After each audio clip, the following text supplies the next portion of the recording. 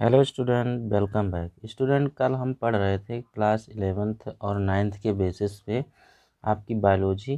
तो स्टूडेंट, क्या है कि इसमें हमने बहुत सारे ऐसे टॉपिक्स थे जो कि आपको बताए गए थे कि आपको फाइव किंगडम क्लासिफिकेशन देने वाले साइंटिस्ट कौन है। तो इसमें आपको 1969 में फाइव किंगडम क्लासिफिकेशन जो कि आर एस बीटेकर के द्वारा दिया गया था। तो फाइव किंगडम क्लासिफिकेशन और आपको स्टूडेंट ये भी बताया गया था कि फाइव किंगडम क्लासिफिकेशन को आपको दिमाग में रखना है कि देने वाले साइंटिस्ट कौन हैं, ठीक है? उसको किस सन में दिया गया था? तो 1969 में इसको दिया गया था। देने वाले कौन वैज्ञानिक हैं? आपको बताया गया था कि आर एच बी टेकर कौन बताया गया था? आर एच बी टेकर ने 1969 में क्या दिया था? फाइव किंगडम क्लासिफिकेशन दिया था। तो ये सारी चीज़ें स्टूडेंट आपको बता दिया गया था। कि आर एच बी टेकर ने किस सन में इसको दिया था? तो 1969 में, ठीक है? 1969 में आर एच बी टेकर ने आपको ये बताया गया था कि फाइव किंगडम क्लासिफिकेशन देने वाले साइंटिस्ट कौन हैं? तो इन सारी चीज़ों को ध्यान में रखते हुए स्टूडेंट आज जो हम पढ़ेंगे, अब इस बायोलॉजिकल क्लासिफिकेशन में बायोलॉजिकल क्लासिफिकेशन में, जो बायोलॉजिकल क्लासिफिकेशन है, इसको कौन कौन से ऐसे साइंटिस्ट थे जिन्होंने अपना जो है कॉन्स्टिब्यूशन दिया था और किस तरीके से इन्होंने बताया था कि हमारे पूरे वर्ल्ड में ये जो ऑर्गेनिज्म हैं, वो किस तरीके से हैं। तो इन सारी चीज़ों के बारे में हम डिस्कस करेंगे आज। तो स्टूडेंट सबसे पहले अगर देखा जाए तो एक वैज्ञानिक थे अरिस्टोटल। कौन थे? अरिस्टोटल, ठीक है।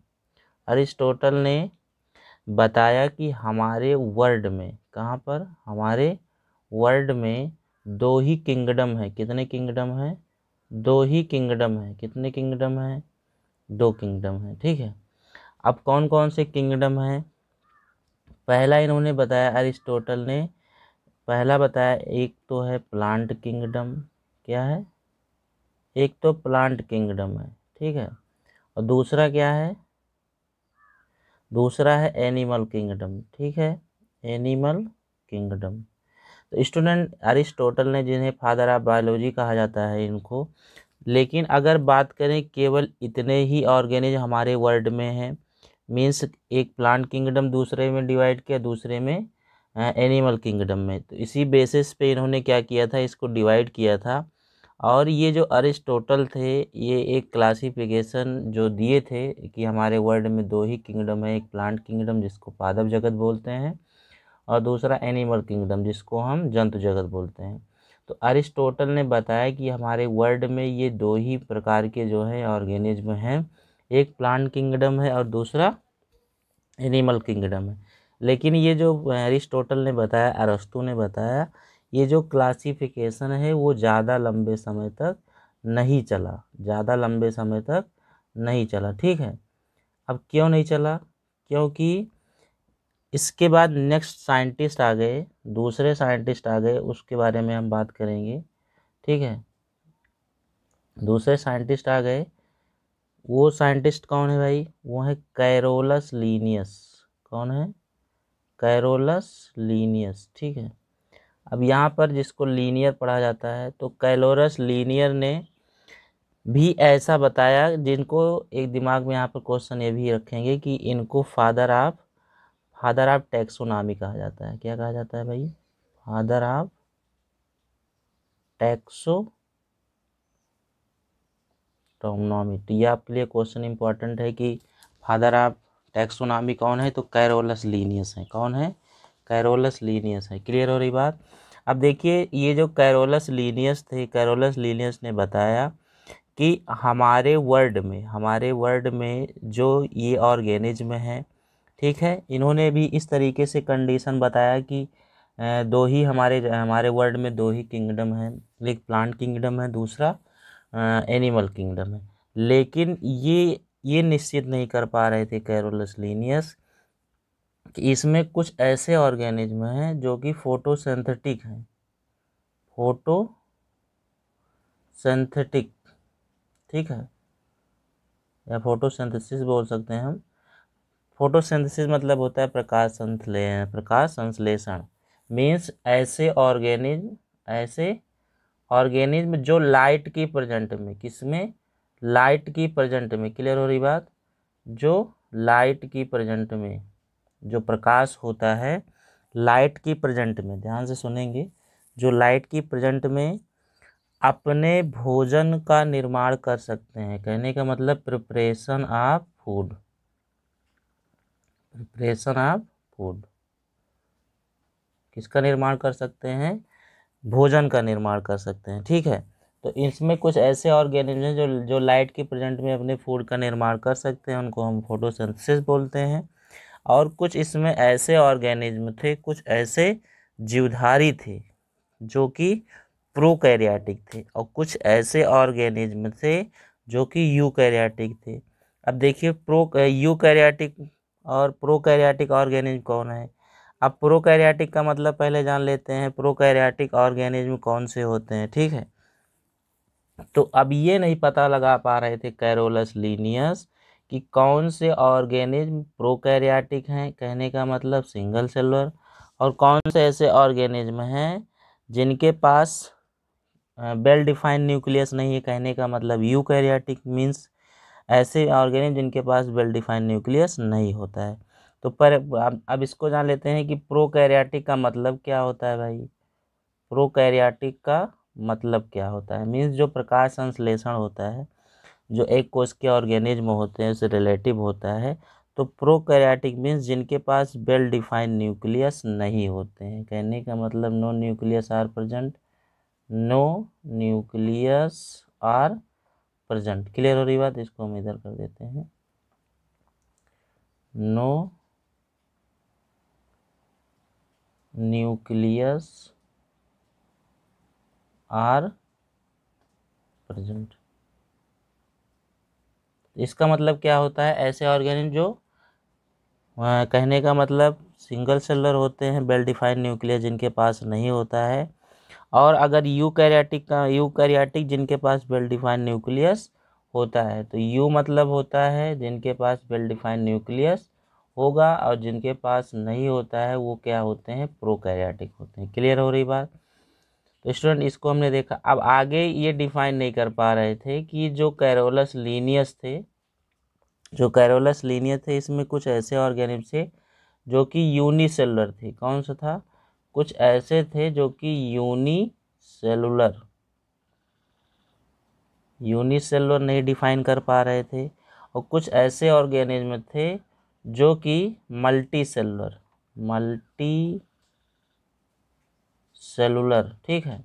मल्टी सेलुलर अब देखिए, इसमें कौन से यूनिसेलर हैं, कौन से मल्टी सेलर है? ये भी ऑर्गेनिज्म ये नहीं पता लगा पा रहे थे। तो अब, अभी भी ऐसे ऑर्गेनिज्म हैं कि जिनको हम प्लांट किंगडम और एनिमल किंगडम में नहीं डाल सकते हैं, ठीक है? तो इसमें हमने दो साइंटिस्ट देखे, एक अरिस्टोटल, जिनको हम फादर ऑफ़ जूलॉजी या बायोलॉजी बोलते हैं, ठीक है?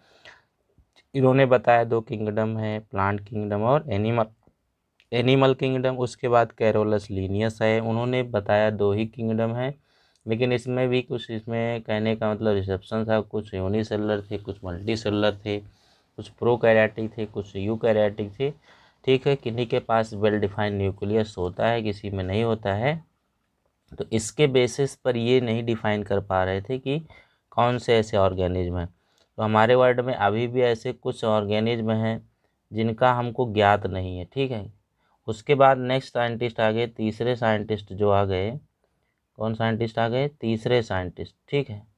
तीसरे साइंटिस्ट आ गए, वहाँ पर हम बात करेंगे। जो तीसरे साइंटिस्ट हैं, वो अर्नेस्ट अर्नेस्ट मायर आ गए। कौन आ गए? अर्नेस्ट मायर, ठीक है? अब ये अर्नेस्ट मायर आ गए। इन्होंने बताया कि हमारे वर्ल्ड में, यहाँ पर हमारे वर्ल्ड में तीन किंगडम है। कितने किंगडम है भाई? तीन किंगडम है। वो कौन कौन से किंगडम है?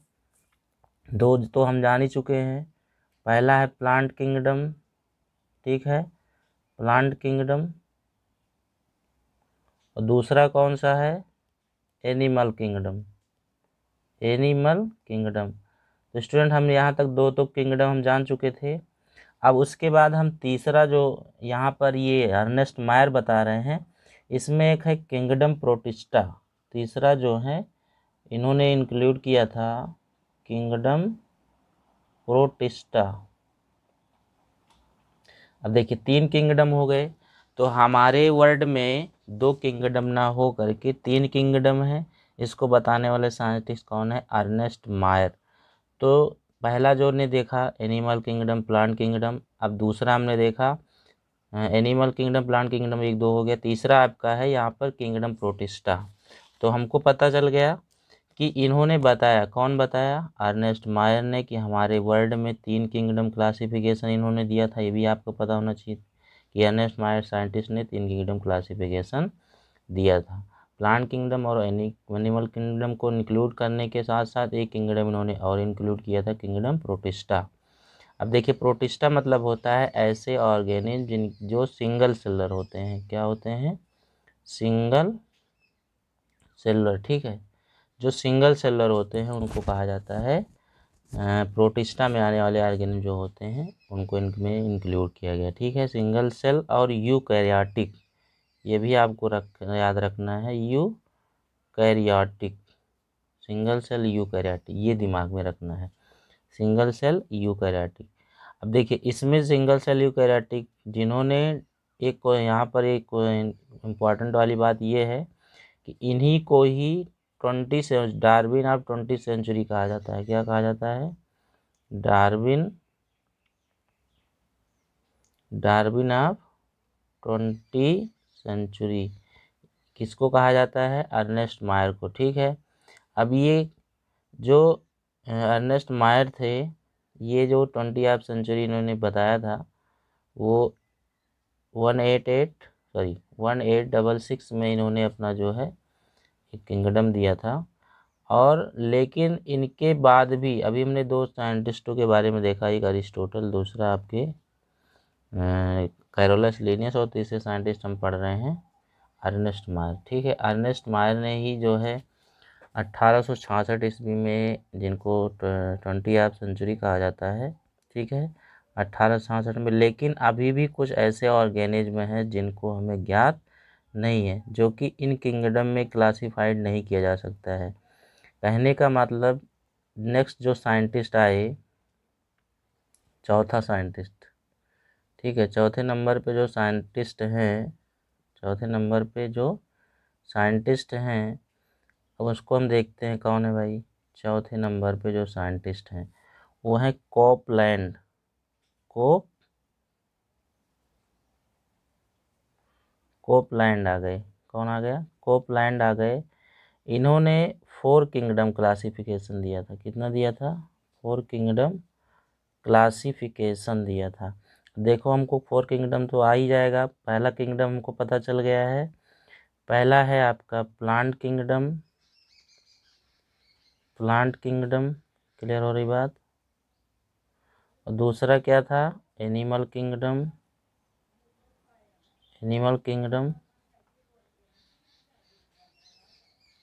उसके बाद तीसरा जो ये, तीसरा जो है आपका, ये तो कैरोलस लीनियस और अरिस्टोटल ने दिया था दो तक। उसके बाद तीसरा जो आपका था, कौन सा था? Kingdom protista.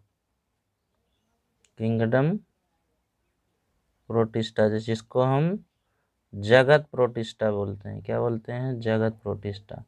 अब देखिए, फोर किंगडम क्लासिफिकेशन देने वाले साइंटिस्ट कौन है? कोपलैंड। इन्होंने फोर किंगडम क्लासिफिकेशन दिया था। ठीक है? अब फोर किंगडम पे इन्होंने क्या रखा था? इसमें रखा था किंगडम मोनेरा को। किसमें रखा था? किंगडम मोनेरा, जगत मोनेरा। किंगडम मोनेरा को इंक्लूड कर दिया था। तो इसलिए इनका किंगडम कितना बन गया? फोर किंगडम क्लासिफिकेशन बन गया। क्लियर हो रही बात? अब ऐसे ऑर्गेनिज्म हैं जो सिंगल सेल प्रोकैरियोटिक होते हैं। इनमें सभी बैक्टीरिया होते हैं जो सिंगल सेल जो सिंगल सेल प्रोकैरियोटिक, ये दिमाग में रखना है आपको। सिंगल सेल प्रोकैरियोटिक, क्लियर हो रही बात? सिंगल सेल प्रोकैरियोटिक जो होते हैं, वो किसमें इंक्लूड करते हैं? मोनेरा में। और मोनेरा मतलब होता है आल बैक्टीरिया। जितने भी बैक्टीरिया होते हैं, जितने भी जीवाणु होते हैं, वो सबको इसमें इंक्लूड किया गया है मीन्स इसमें डाला गया है। क्लियर हो रही बात? इस तरीके से स्टूडेंट इन्होंने फोर किंगडम क्लासिफिकेशन दिया था। तो फोर किंगडम में plant kingdom, animal kingdom, Protista, Monera, ये सारी चीज़ें थी। देखिए, इनकी भी जो है जो साड़ी बनाए थे इन्होंने, इनकी भी साड़ी बहुत लंबे समय तक नहीं चली थी। इसके बाद नेक्स्ट साइंटिस्ट आए, जिनके नाम पर ही आपको बताया गया था, फाइव किंगडम क्लासिफिकेशन दिया था। कौन दिया था? फाइव किंगडम क्लासिफिकेशन दिए थे। Five kingdom classification. आपको कल बताया था कि फाइव किंगडम क्लासिफिकेशन देने वाले साइंटिस्ट कौन है? R H Whittaker R H Whittaker ने 1969 में, कब? 1969 में ये दिया था फाइव किंगडम क्लासिफिकेशन। और स्टूडेंट, हमने आपको बताया भी था कि इसको दिमाग में रखना है। अब फाइव किंगडम क्लासिफिकेशन में कौन कौन से थे? पहला था किंगडम मोनेरा। किंगडम। दूसरा है किंगडम प्रोटिस्टा। Kingdom protista. तीसरा क्या है? Kingdom Fungi. Kingdom Fungi. उसके बाद चौथा क्या है? किंगडम किंगडम प्रोटिस्टा हो गया, किंगडम फंजाई हो गई, किंगडम मुनेरा हो गया, उसके बाद आपका चौथा है किंगडम एनिमिलिया, जंतु जगत, ठीक है? उसके बाद आपका पांचवा है, पांचवा कौन सा है? अभी आपको पता चल जाएगा, एनिमल किंगडम, सॉरी, ये आपका, यहाँ पर पांचवा जो है आपका, एनिमल हो गया, किंगडम प्लांटी है, क्या है? Kingdom Plantae. किंगडम प्लांटी जो है आपका, ये पांचवा जगत है ठीक है तो आर एच बी टेकर ने ये फाइव किंगडम क्लासिफिकेशन दिया था और इसी फाइव किंगडम के बेसिस पे ही जो है, इन्होंने पूरे बॉटनी को पूरे सेकंड पेपर को इसमें इंक्लूड किया गया है कि Monera, Protista Fungi Animalia, Plantae. तो स्टूडेंट इन्हीं की जो साड़ी थी, बहुत लंबे समय तक चली थी, इन्हीं के बेसिस पे ही क्योंकि और सारे लोगों की साड़ी आपकी जो है फ्लॉप हो गई थी, बट आपको दिमाग में रखना है कौन से साइंटिस्ट ने किस सन में कौन सी अपना जो है साड़ी दिया था, अपना कॉन्स्टिब्यूशन दिया था। तो स्टूडेंट ये था थोड़ा biological classification less chapter number one का क्लास इलेवन नौ नाइन के बेसिस पे। तो स्टूडेंट आपको इतना दिमाग में रखना है, जब हम पढ़ेंगे तो नेक्स्ट पढ़ेंगे, आपका जो है, हम शुरू करेंगे किंगडम मोनेरा से। स्टूडेंट, आपको इतनी सारी चीज़ें दिमाग में रखना है। तो आज के लिए स्टूडेंट, इतना ही। फिर मिलते हैं नेक्स्ट वीडियो में। तब तक के लिए सभी लोगों को थैंक यू। Good bye.